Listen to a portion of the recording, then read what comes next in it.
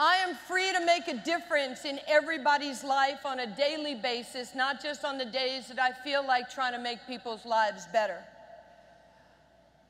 I am free and liberated to take the challenge of being the only woman to ever coach an NBA team.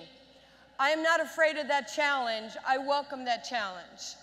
We have people that have set the tone of greatness, financial greatness, travel greatness. I want to be a part of all of that. And the only one who can stop me is me. It's, it's your mentality. It's respecting everybody. It's fearing nobody. It's knowing that you can be as good as you want to be no matter what you do. Point guard is an extension of the coach. It, you make people around you better. You set them up for success. You make decisions. You have good work ethic. You're willing to show people how to lead. Not just telling them, but showing them. You have a mindset of who you are, what you are, what your beliefs are, what you can give, and that's life. That's called a legacy. Each and every day, you have a chance to be different. But just knowing the pressures that I'm going to be faced and the spotlight that I'm going to be in, having to guide, lead, build character, teach, teach and tutor, change people's comfortability and their behaviors. But I'm excited about that. I don't know what my limits are. I have no clue what my limits are. But I can tell you this right now in Chicago, and I've had a chance to think about it over the last 48 hours.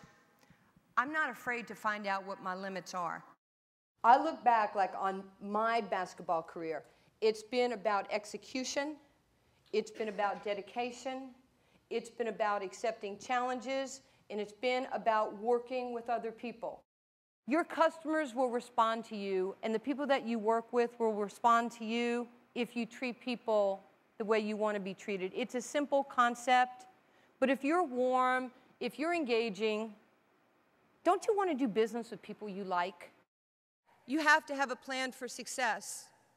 It's, it's most important that you do that because if you can su succeed in times like this, just imagine what it's going to be like when things are flowing and going the way you had hoped and anticipated.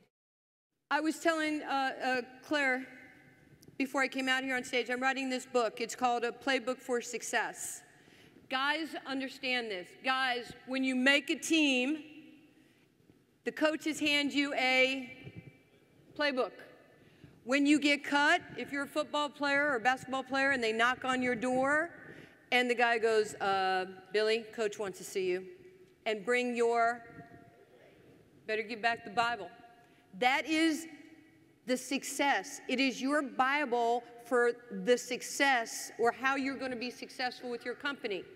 It gives you the rules, the regulations, procedures, phone numbers, contacts, what time you got to be at practice, the plays, the defenses, the philosophy of how we're going to be great.